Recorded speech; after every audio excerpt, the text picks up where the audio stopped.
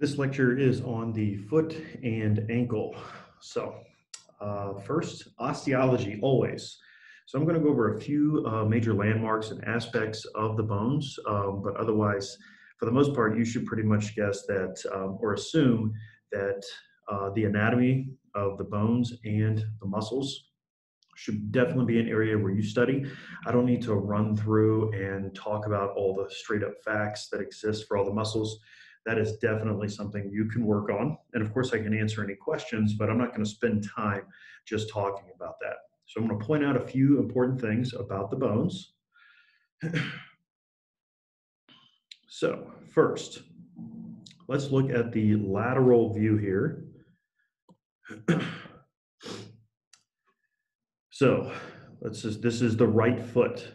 So we're looking at the outside of this foot. And what I really want to draw attention to is the subtalar joint. So that is in green. This joint between the talus and the calcaneus, called the subtalar joint, is where we get our inversion and eversion occurring in our foot. So we have our inversion and eversion occurring at the subtalar joint. So we'll scroll up here to look at our talocrural joint, which is a combination of the tibia and fibula here with the talus. So if you look over to the right side, you can see where we have where that talus is going to be. Okay, and this is how we get, so this is our talocrural joint. And this is how we get our dorsiflexion and plantar flexion. So we need to know the bones that articulate to make these joints for multiple reasons, one of which is because on the practicals, you're going to be asked to name those. So hopefully we don't ask you, uh, hopefully you just tell us what bones articulate to make the joint that you're measuring. Um, so when I talk about in the palpation video, you have your lateral malleolus over here on the left. It's a crucial landmark for our axis of the goniometer. also want to point out the anterior tibiofibular ligament. So we're going to be talking about uh, some different ligaments on this lateral side that help hold the fibula to the tibia. And then on the medial side, we have our medial malleolus, which is part of the tibia. So our lateral malleolus is part of the fibula. Medial malleolus is part of the tibia. Going back down to this lateral view here. So moving our way forward in this. Uh, again, in the palpation video, I talk about the styloid process of the fifth metatarsal. So it's going to be a good landmark that then helps you find the cuboid. So make sure you watch that video. Then you follow along that fifth metatarsal as we work our way down here, and you get to what's called the MTP joints, metatarsophalangeal joints. So this is when you get up on the balls of your feet, so to speak. Those are the joints that you're on. Following that, you have your PIP, so the proximal interphalangeal joint. And then the DIP is the distal interphalangeal joint. Your big toe or hallucis only has one, and then that's simply put as IP, interphalangeal joint.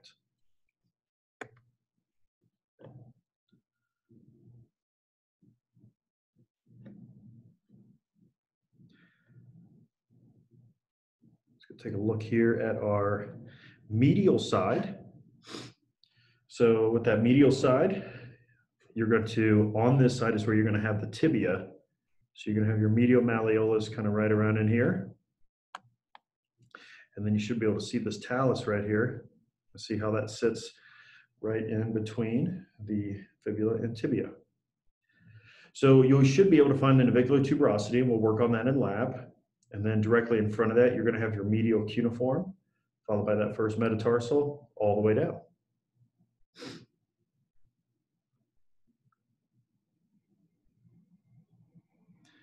Let's get to some of those ligaments here.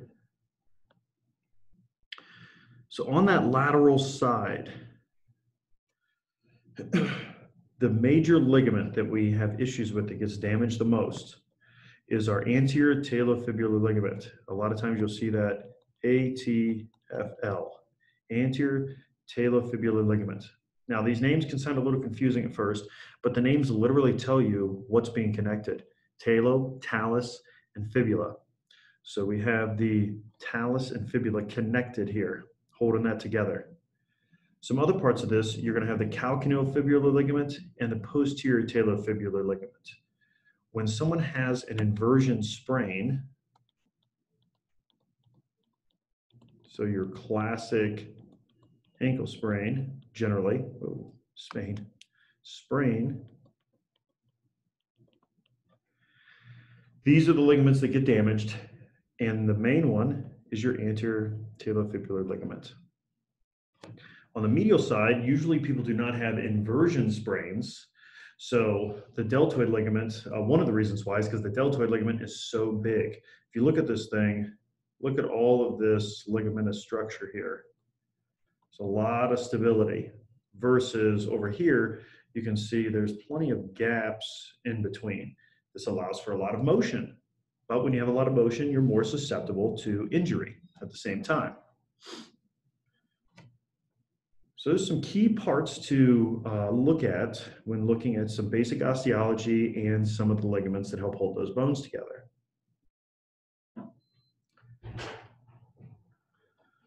So going back to the notes here, talked about the ATFL, talked about posterior talofibular and calcaneofibular ligaments. Now there's special tests. So These are tests that the PT performs to see if something's injured. Now, we will get into a little bit more of this about how these tests are not very reliable, especially immediately following an injury, and usually all show positive, even though they're not. So, um, but that's that's a whole nother story. And the PT does those tests anyway. You can learn how to do those, and if your PT is cool with that, you can do them. But you will never document the results of a special test. That is solely for the PT but there are two special tests here to test for damage of that ligament. One is the talar tilt test.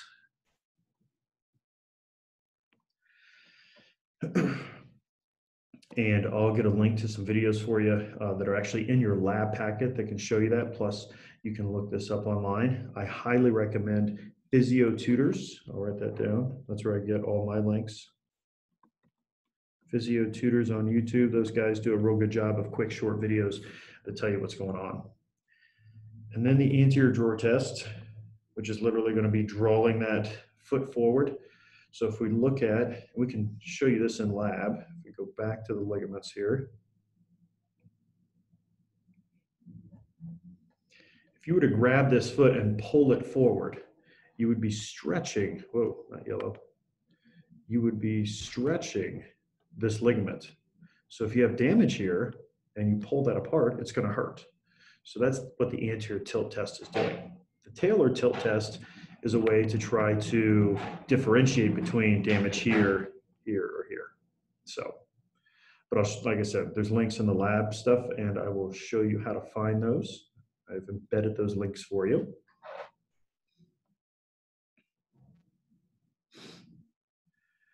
So now we think about some arthrokinematics of the talocrural joint. So number one, you have to be able to picture the bones.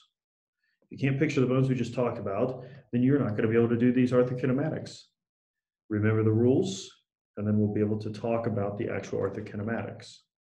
So I'll give you some practice questions here in a little bit. But if we take a quick look at open chain arthrokinematics, This is open chain dorsiflexion. So the foot is moving up towards the tibia. So the talus right here is moving up. So moving superior or anterior, depending on how you want to look at it. I'm not going to worry about getting heavily into the semantics here. Say the more proper answer is an anterior roll but you can see how if the talus were to continue to roll, it would go all the way up the leg. So what keeps that from happening is the glide. And since the talus is convex, if the roll is anterior, the slide or glide has to be back, posterior. That's for open chain dorsiflexion. Now, if we have closed chain dorsiflexion, like when you're sitting down or going down towards the earth in a squat, now we have the tibia and fibula moving forward, but they are concave. So if they're moving anterior, the glide also has to be anterior per the rule. So again, depending on whether it's open or closed chain is going to determine which bone is moving, thus changing the roll and glide. So let's take a look over here at the open chain plantar flexion. So you, again, you can see that talus here. And if it were to continue to roll, this whole foot is going to roll up the backside. So we have a posterior roll. And since the talus is convex, we're going to have an anterior glide. If it doesn't glide back this way, then it's just going to roll up back of the leg. and then we have the opposite happening when you stand up during a closed chained activity like a squat and we're coming up off away from the ground the tibia and fibula are going to be what's moving and they're going to be rolling back posterior and gliding posterior because they are concave posterior.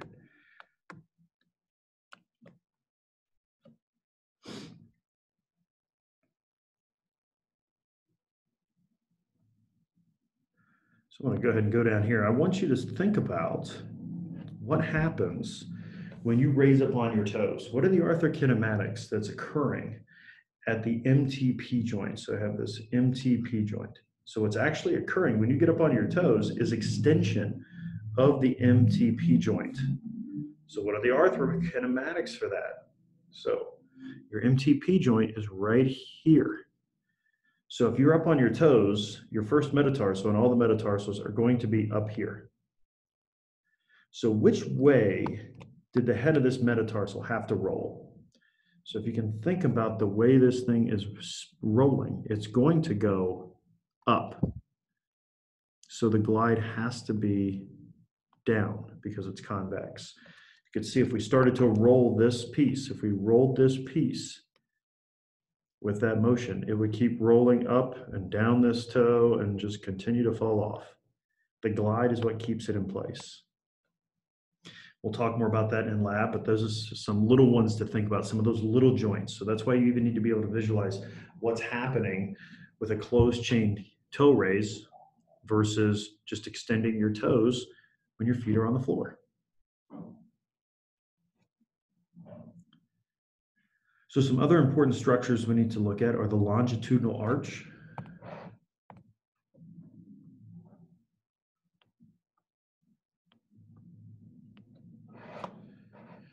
This is really important for supporting uh, that foot. So it's comprised of your plantar fascia, the longitudinal and transverse arches of the foot to all help with the arch of the foot itself the toe flexors and anterior tib, your plantar ligaments or ligament, and the posterior tib. All of those things help support the arch. So when we don't have support of the arch or we have um, different variations of arch for people, we have two major ones we would look at here and that is pes planus versus pes cavus. So pes planus is going to be when someone overpronates their foot. So an example that, let's go over to your PowerPoint slides. So right here, we have pes plant or pronation, I'm sorry. So when you look at this first picture here, this is someone's right foot. Their foot's collapsing in on that arch. So they have a flat arch. Supination is when you're walking on the outside of your foot. Here's another picture here in your PowerPoints. This is still the right foot for both of these. So Here you have your pronation. That arch is flattened.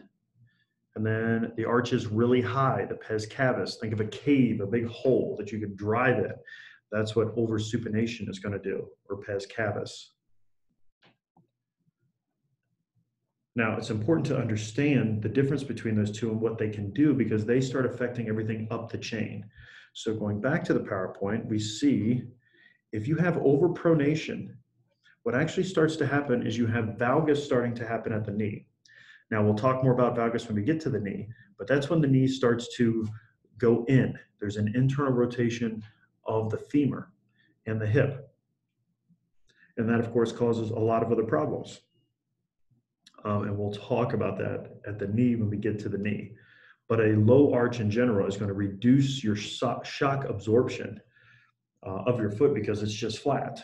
And then if you have too high of an arch, that doesn't actually help you either because it's not giving it all to, to resist some of that force. So it's just a lot of energy that's getting shot up through the leg because the foot is not absorbing any of that energy. Uh, I have some links that I have on those handouts that I've posted to some of the videos to make sure that you're looking at the open and, whoops, open and closed pack positions of the talocrural joint.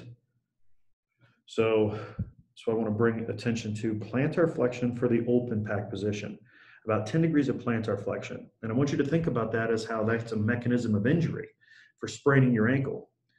Because when you jump, when you come down, you land on your toes first, or like, you know, your metatarsals first. Now you're in a plantar flex state. And that's when a lot of times people sprain their ankles coming down from a jump. Also, if you're wearing any type of heels, that's going to put you in a plantar flex state as well. And then the closed pack position is about 20 degrees of dorsiflexion. Or the more dorsiflexion you get, the more locked it is. So that's why if you're uh, were an athlete and you were getting taped up, usually you try to dorsiflex that foot before getting taped to put it in its most stable position.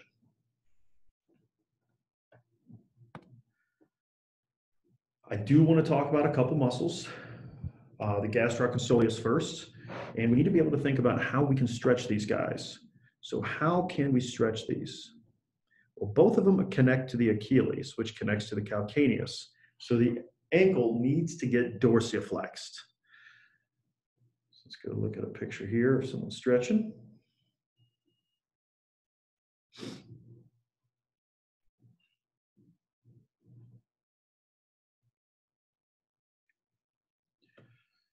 So this picture on the left, this with the knee extended, this is stretching the gastroc because we're putting the gastroc in its passively insufficient position.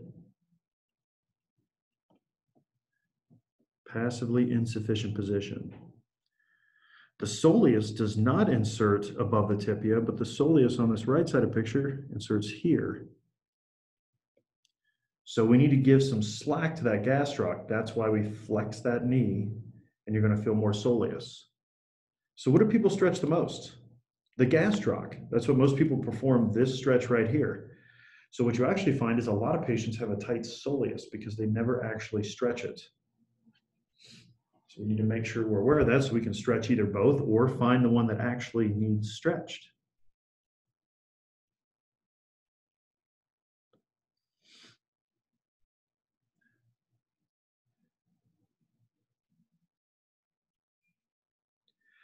Now, both of those are going to connect to the Achilles and then connect to the calcaneus.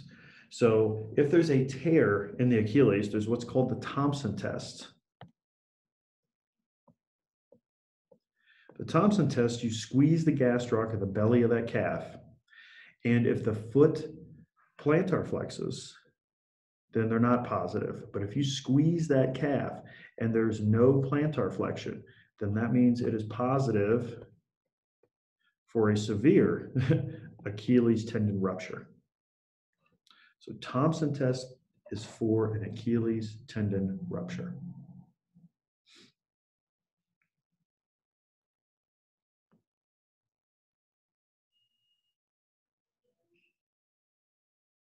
And that is part one of our ankle. So take a little break there and get ready for video number two.